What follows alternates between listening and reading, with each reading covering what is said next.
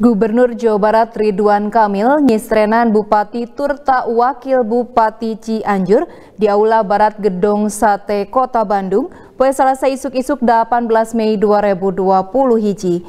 Satu tas di Srenan Bupati Cianjur nembraken pihakna musir karena lima program prioritas di antaranya pangwangunan 1000 km jalan beton, ngangketkan UMKM ke pulihkan ekonomi satu tas sasalan COVID-19 turta pembangunan sarebu pasantren.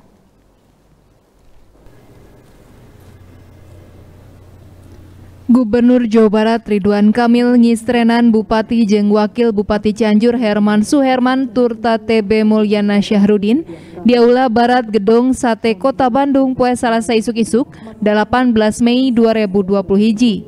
Statutas di Srenan Bupati Cianjur Herman Suherman ngebrehkeun pihakna musir kana lima program prioritas nyata pangwangunan ngomean turta ngariksa kalawan mayang sarebu kilometer jalan beton Pembangunan Sarebu Pasantren, pembangunan Widang Tatanen, Cianjur Caang, serta ketak ngehangketkan UMKM kermu pulihkan ekonomi satu tas sasalan COVID-19.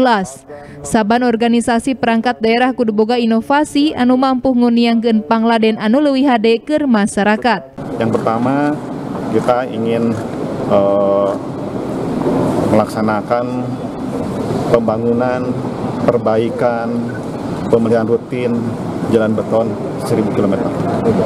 Yang kedua, tentunya Cianjur ini merupakan daerah yang agamis, yang kotanya pesantren, yang gudangnya ulama, tentunya 1000 pesantren akan kita uh, bantu dalam waktu lima tahun. Kemudian yang ketiga, pertanian juga tidak kalah penting.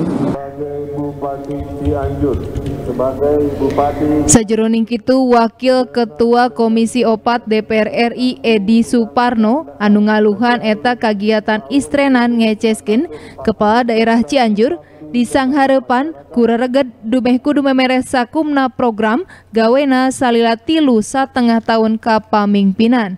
Katambah-tambah pasoalan sesalat COVID-19 tepi ka pasoalan waragad anu leuwih reari fokusing kana widang kesehatan mangrupa sababaraha reged anu kudu diungkulan ku pihakna.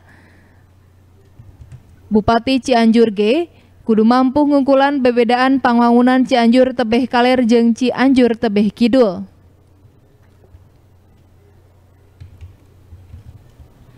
Pihakna nu mangrupa wawakil ti Cianjur bakal satekah pola masrahkeun bantuan utamana tina aspek elektrifikasi tapi ka ketak ngaronjatkeun status RSUD Cimacan. Saya sebagai anggota DPR RI dari Dapil Kabupaten Cianjur berusaha semaksimal mungkin untuk memberikan bantuan eh, terutama satu dari, dari aspek elektrifikasi supaya ada elektrifikasi yang merata di Cianjur Selatan.